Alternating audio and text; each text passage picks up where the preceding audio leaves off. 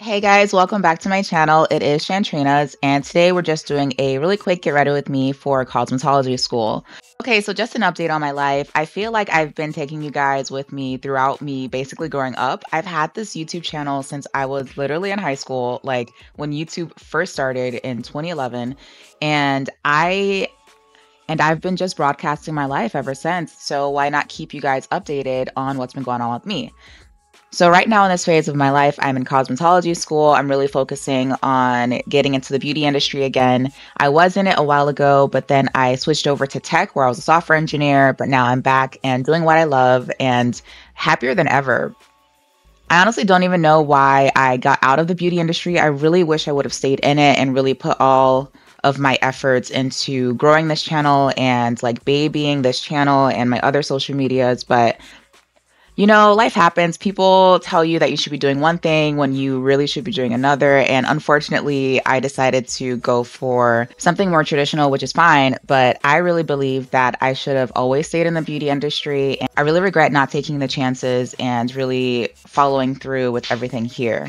If you're going to learn anything from my channel or from me, it's follow what you think you should be doing. Don't listen to what anybody else is saying. If you think you should be doing something, then go along with it because you know yourself better than anyone else and you know what's going to work for you. So just go and do what you already know you need to be doing, okay? Saying all of that to say, I really enjoy my cosmetology program right now. We are also taking clients at the moment. So if you guys want any hair done by me, then you can check me out on Instagram and figure out how to book with me from there. Also, something that's really exciting, I decided to also take the makeup course. Um, I am so hyped for that. Like, I like doing hair, it's fine, but I love makeup. And I feel like after this cosmetology school is over, I'm most likely going to be being a makeup artist after this. So, yeah, I don't know. That's the first time I've ever said it out loud. Um, yeah, I definitely see myself as a makeup artist or as someone that's going to be selling a product. So, hint, hint, wink, wink. I'm not going to really say much else about that, but something to look forward to in the future.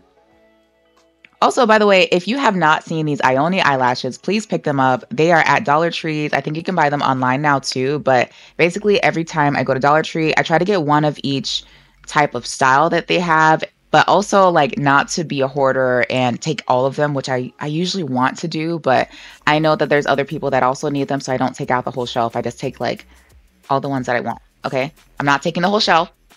I'm being very mindful, very demure about how many I take because these are very affordable. They're only a dollar, a dollar twenty-five at the Dollar Tree. And they're so gorgeous, so pretty. I love them so, so, so much. I just grab one of each. Okay. Just one be mindful. Just grab one. Anyways, that is the end of the makeup look. I hope you guys enjoyed. If you want any updates from me, I would definitely check me out on Instagram or TikTok. I post mostly there, and I'll see you guys next time. Bye, guys.